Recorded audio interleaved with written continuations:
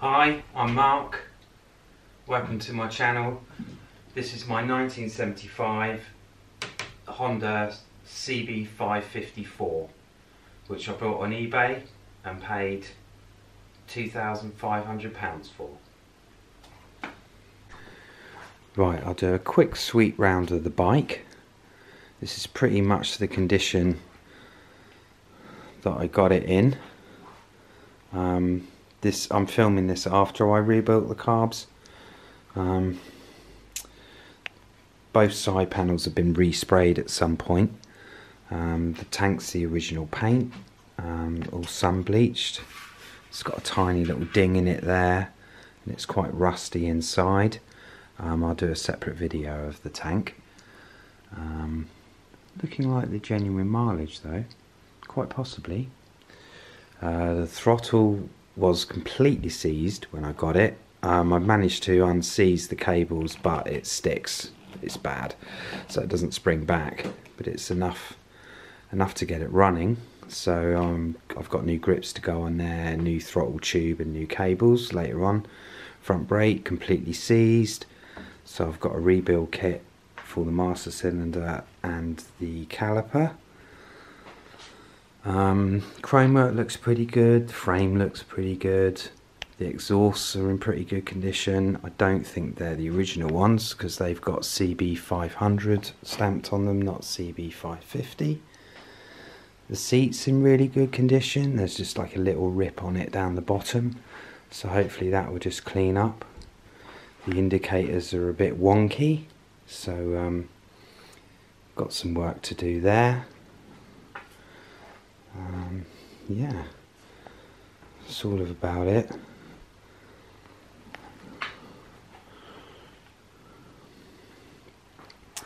The wheels got a little bit of corrosion on, hopefully I can clean them up. Right, and on here is the sticker. That'll focus. So it was last on the road 1989. So it's quite possibly not run in 30 plus years. And looking at the carburetors um, could be true could be true. Um, you'll see the carburetors in a minute. Um, yes I did use a blowtorch to heat them up to get the sliders out. Um, they were really seized and I don't have an ultrasonics cleaner so I just just did what I had to do to get them out basically um, and when I started it, I used the original battery that had two volts on it, and I managed to get some sort of charge. But the battery was pretty much flat by the time I actually got to start it, so I had to use the Kickstarter quite a bit. Um, yeah, so that's it. So um, here's a video of the carbs. Right, let's get these carbs stripped down throttle's completely jammed. I mean like completely jammed. That's bent up a bit. All the sliders are seized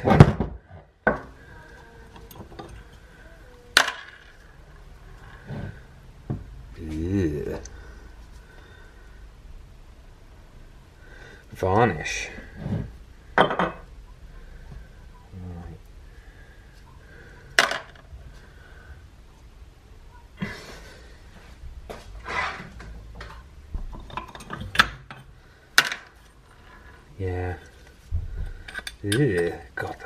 in there. Don't know if that will focus. Anyway, I don't know if you can see that, that's gummy.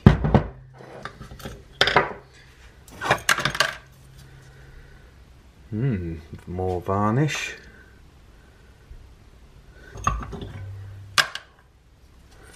Varnish again.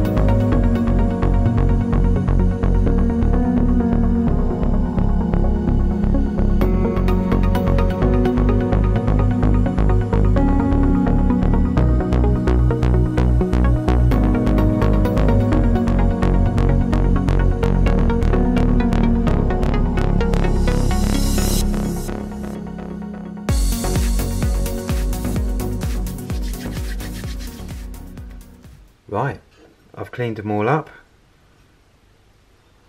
They're uh, looking a bit better now. Well, that's as clean as I can get them anyway. Um, yeah, that one's a different carb body because I damaged the inside taking out one of the emulsion tubes so that one's a different one um, yeah one of the slow jets was broken as well. Hold on there's one. So you can see a little bit there that had broken off so I had to drill that out in one of the carbs. So let's get these bad boys together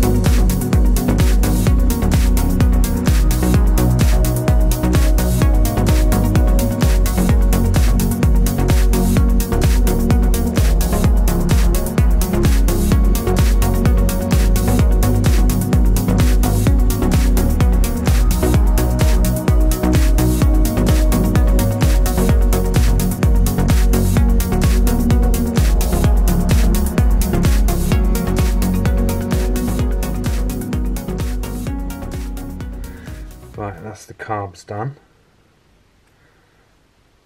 I think. I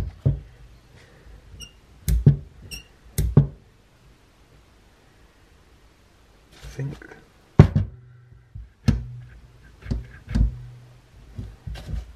I think they're all there.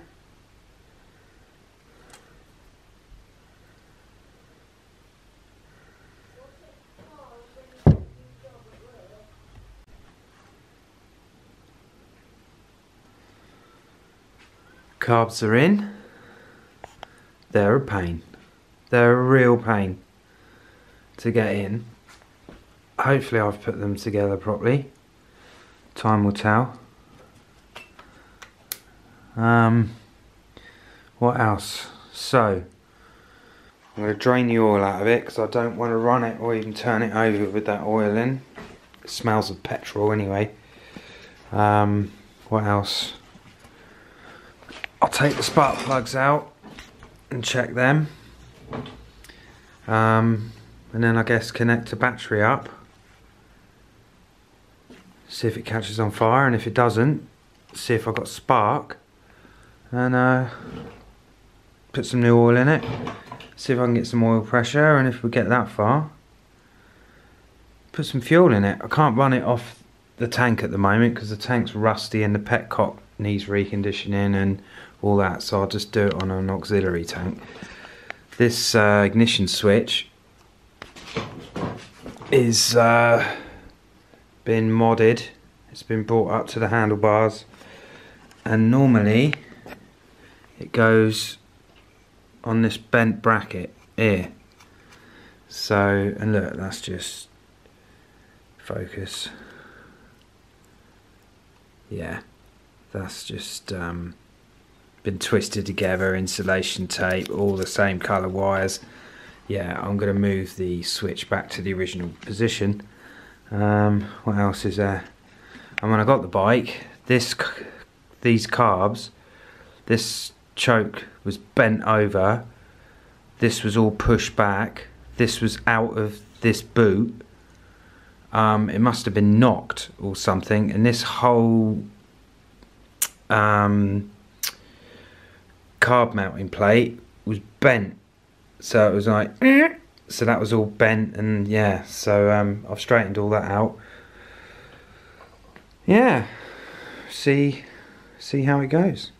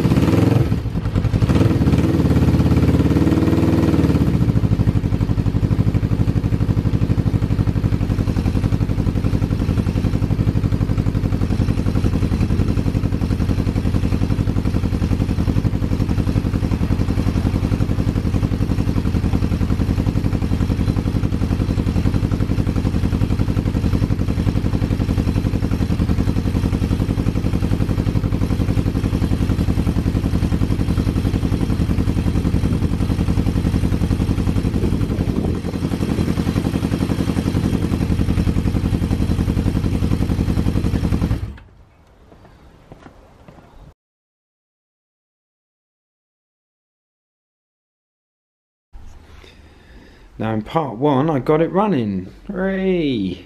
But it, wasn't running great.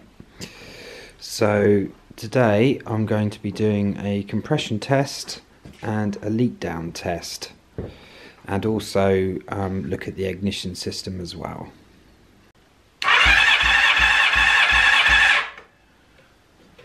Hmm.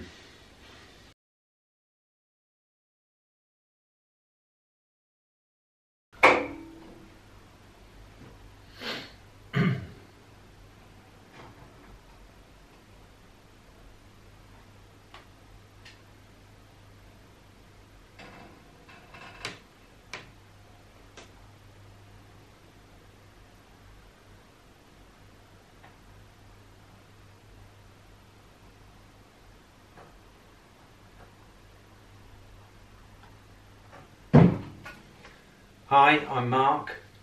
Welcome to my channel. This is my 1975 Honda CB550 4 that I got from eBay for two... Ah.